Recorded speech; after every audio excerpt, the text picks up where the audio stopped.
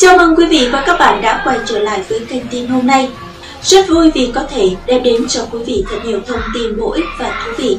Mời quý vị và các bạn cùng đón theo dõi phần tin chi tiết trong bản tin ngày hôm nay. Triệu Lê Dĩnh có thêm 160.000 fan sau 2 tiếng tuyên bố ly hôn, fandom ăn mừng như chảy hồi. Cứ tưởng fan hâm mộ sẽ sốc và đau buồn trước tin hôn nhân của thần tượng tan vỡ.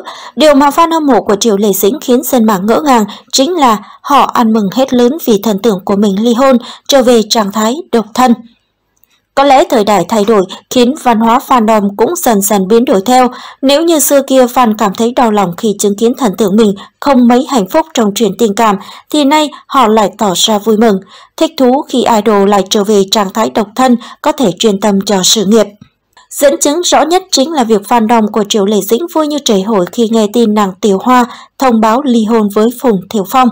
Theo như các trang truyền thông thống kê rằng, chỉ sau 2 tiếng tuyên bố đường ai nấy đi của cặp đôi, Triệu Lệ Dĩnh lập tức có thêm 160.000 fan hâm mộ theo dõi tài khoản Weibo của cô. Không dừng lại ở đó, rất nhiều người hâm mộ có sức ảnh hưởng lớn trong fandom của Triều Lệ Dĩnh tổ chức giveaway, phát quà, tặng tiền cho dân mạng và những fan khác vì ăn mừng dịp đặc biệt có 102 này. Rất nhiều phần quà có giá trị từ fan của Triều Lệ Dĩnh như 10.000 nhân dân tệ tiền mặt khoảng 35 triệu đồng, son, phấn, túi sách hàng hiệu với đồ chi khủng từ fan như thế này, có thể thấy họ thật sự vui mừng hạnh phúc như thế nào khi nghe tin Triều Lệ Dĩnh ly hôn.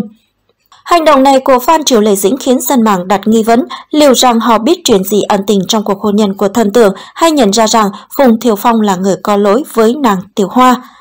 Dù Triệu Lệ Dĩnh và Phùng Thiểu Phong đều tuyên bố chia tay trong hòa bình, thế nhưng với những động thái bên lề như thế này càng khiến dư luận không khỏi nghi ngờ thắc mắc về nguyên nhân thật sự khiến hôn nhân của cặp đôi đình đám một thời tan vỡ.